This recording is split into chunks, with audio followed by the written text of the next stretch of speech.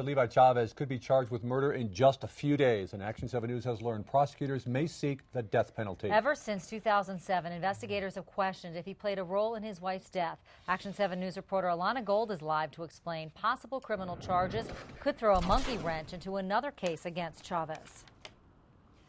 Shelley, his late wife's family is filing a civil suit against him. Today they showed up here at district court for a hearing on that case, but the judge put it on hold until the criminal case is complete. And today we learned more about what could be in store for Chavez.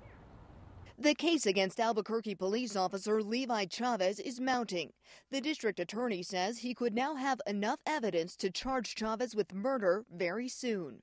It's looking much more positive than it did a while back. Chavez has been a person of interest in his wife's death since 2007. Tara Chavez was found shot to death inside their Valencia County home, and Levi Chavez's city issued gun was found right next to her body. But this case has dragged on for years. The DA's office says it took a long time to get all the evidence from the sheriff's department. And even when they got the evidence, the case was far from cut and dry. A lawsuit recently settled by the city of Albuquerque alleged that APD officers destroyed evidence when they showed up at the Valencia County crime scene.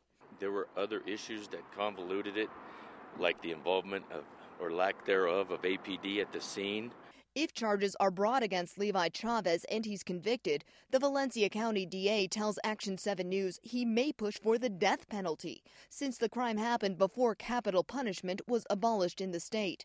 He says the goal is to hold Chavez accountable if he did in fact play a role in his wife's death. To the family, I think it'd be great. They could be uh, they could have closure. For us, it's what we do every day. We want to emphasize the DA's office says Chavez has not been charged, but this could definitely change in the next few weeks. We will continue to follow this story and let you know what happens. Reporting live in downtown Albuquerque, Alana Gold, KOAT Action 7 News. And the city recently shelled out a quarter of a million dollars to settle a wrongful death lawsuit from Chavez's wife's estate.